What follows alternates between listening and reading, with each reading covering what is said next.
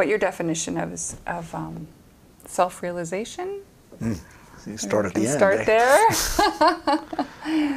It, Start there, at the end. all everything has levels, obviously, right? And so let's take the simplest level of the term self-realization. You are in there. I, I always play with people when I start, and I ask, "Hi, are you in there?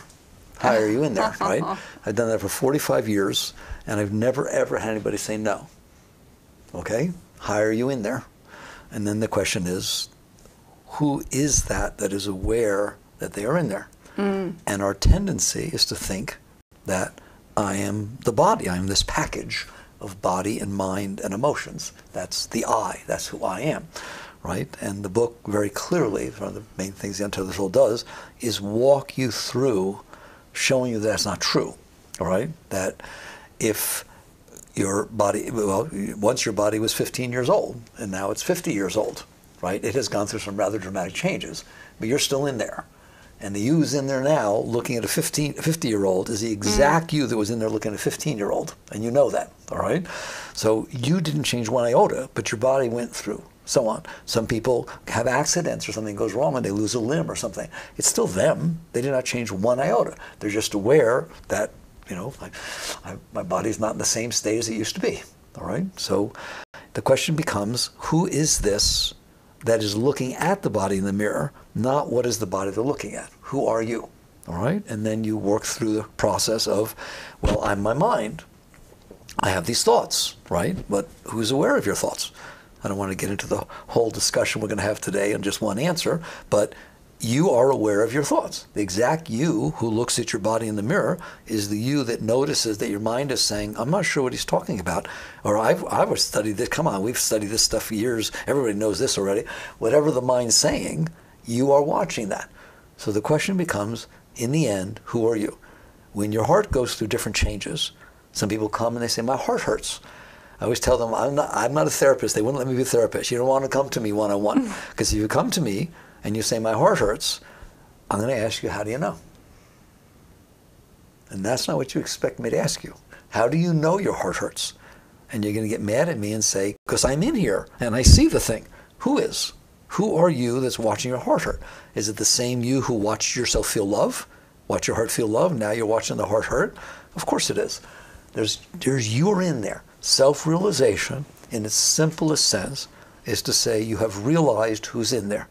You have realized that you are not your mind, you are not your emotions, you are not your body, you're certainly not anything you're looking at, your car, your house. They can change, you're still there, right? Who is the unchanging one? Who is the one that's always there and has been in there from the beginning, all right? And mm-hmm. someday you will be on your deathbed and you will be watching yourself take your last breath and watching your mind say, oh, I had a nice life or I haven't, and you just be there, you're there.